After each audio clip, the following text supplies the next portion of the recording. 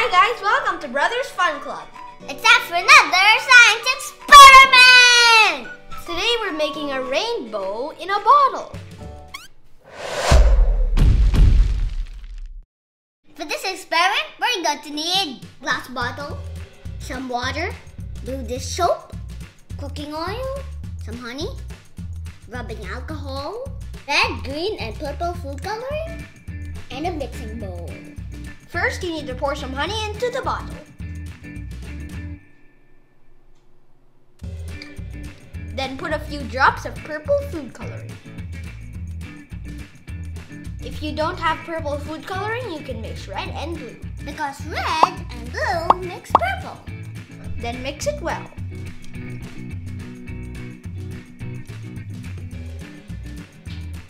Next, we take our blue dishwashing liquid and pour it into the bottle very slowly along the side.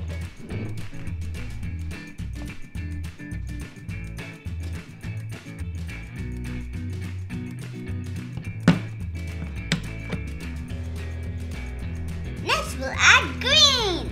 We'll take some water. Right here. Now we need a little bit of green food coloring. And mix well. Then we pour it into the bottle and again very slowly along the side.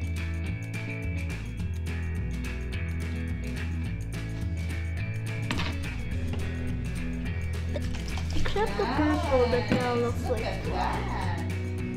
Next up is color yellow. This is where you use your cooking oil. Since it's already yellow, we can put it directly.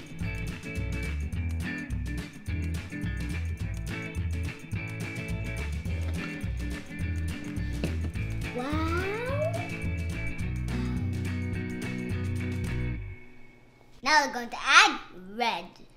This time we're going to use rubbing alcohol and put some red food coloring. Mix, mix, mix. That's more. Now we pour it again into a rainbow.